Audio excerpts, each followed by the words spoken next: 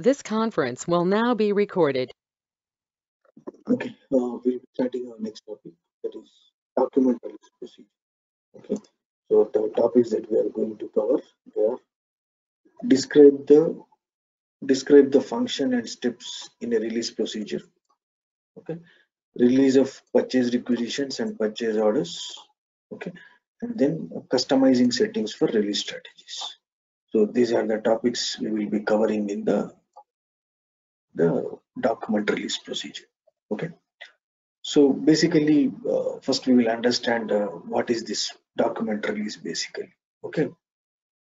In the sap system in the sap system you can set up approval procedures in purchasing for purchase requisitions and our external purchasing documents like purchase orders contracts scheduling agreements rfqs so basically in the in the organizations what happens is normally sometimes for some purchasing activity they need approval. Suppose let's say they are purchasing a material.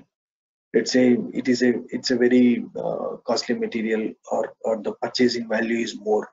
So in that case they need to take approvals. Like they have to take approval from their purchasing manager or company vice president or sometimes company md so these kind of scenarios, they will go for this approval procedures. Okay. So this approval procedure you can apply for both purchase requisitions, our internal purchase requisitions, or external purchasing document like our PO, contracts, scheduling agreements, or quotations. Okay. If a purchase requisition or an external purchasing document fulfills the certain conditions, certain conditions, the document has to be approved approved before further processing can takes place. So you will have certain conditions certain conditions like, like let's say uh, take for example the po value. If the po value is let's say more than 50000 50000 inr or 50000 usd let's say just take an example. In that case it has to go for approval. Okay? So if if it if it if it fulfills certain conditions then it has to be approved by the respective people respective people. Then only you can do further activities. Okay? An electronic release procedure can reflect the approval process. Okay? So uh, in the system you can put a release procedure which we will be discussing in detail. Okay? That that ultimately uh, fulfills the approval process this release procedure automatically blocks the relevant documents for further processing. Until until it is released unless and until it is released you cannot continue further. Okay? So that is the release procedure. So basically this release procedure is nothing but approval process. Okay? So before purchasing the metal from a vendor you take approval from the respective people like purchasing or manager purchasing department manager, vice president, company vice president, or company MD. Okay, so these kind of things. So it is nothing but approval process. Okay, so first we'll start with the release procedure for purchase requisitions. Okay, so basically uh, we create purchase requisitions. Okay, the concerned departments will normally will create purchase requisitions. Okay, so now after the purchase requisition is created it is converted to purchase order. This we have discussed already. Okay? So before converting to the purchase order this needs to be approved. This has to go for approval. So once approved the once the purchase requisition is approved then only you can convert then only the purchasing department can convert it into your purchase order. Okay? So that approval process we can do. We can set up in the system. Okay? So first let's start with the requisition. The aim of the release procedure for requisitions is to prevent that these can be converted into follow-on documents. So basically uh, why we put why we put the release procedure for requisition is to prevent from converting to the follow-on documents like purchase orders or outline agreements okay or any rfqs whatever okay so before converting into the purchase order other other document types it has to be approved okay it has to be released it is necessary to differentiate between two types of release item wise release and overall release. So in case of purchase requisitions, we have two methods. Let me open a notepad. Okay, so for purchase requisitions, for purchase requisitions, we have two methods. One is okay, item level release, item level release, whereas also you can have header level, header level release. You have both. Both options are possible for purchase requisitions. Okay. It is necessary.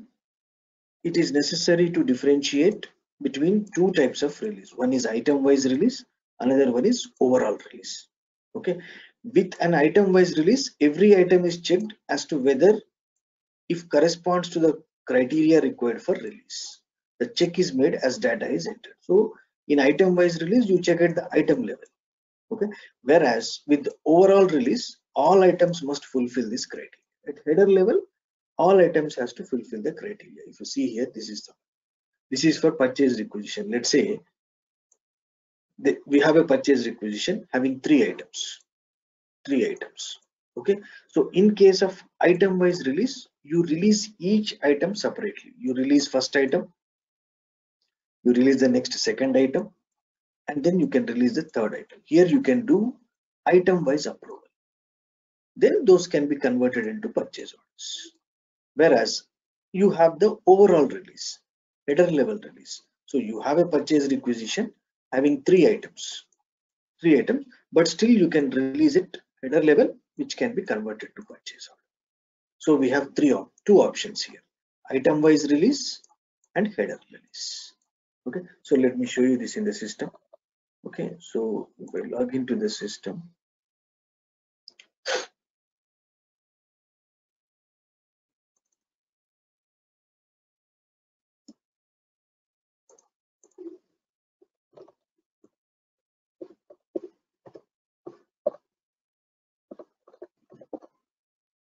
okay so go to logistics. Go to logistics go to materials management purchasing. Okay you have purchase requisition. Open this. Here you have see there is a folder here. Release. Okay if you open this here you have. Of course this is individual release this is collective release. That is again that is again uh, options for release. That is option for release. That's okay. So so basically what you need to understand here is for the purchase requisitions, you have two options. Either you can release at item level or you can release at header level, all items together. Okay. So now as this is option, this option is available. So basically for purchase requisitions, we have two types of releases. Okay. For purchase requisitions, two release procedures are available. One is without classification. Another one is with classification okay? So without classification with this procedure purchase requisitions can only be released at item level. Okay? The one which we discussed.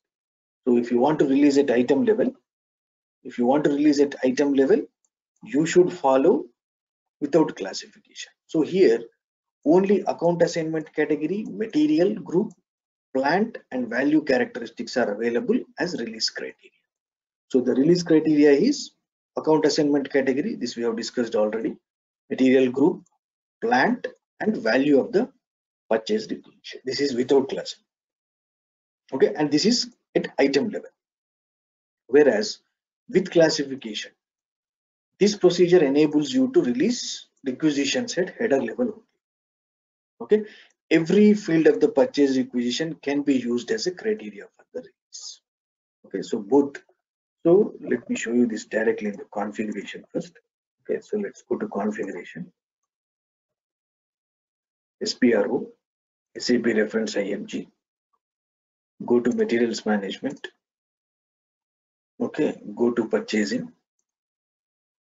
Okay, go to purchase requisition. Okay, here you have release procedure. If you open this, here you see there are two things. Setup procedure without classification. Another one is procedure with classification. Two things are there. Two things. Okay? So here when you want to release at item level you can go for without classification. Without classification. Whereas if you want to go at header level,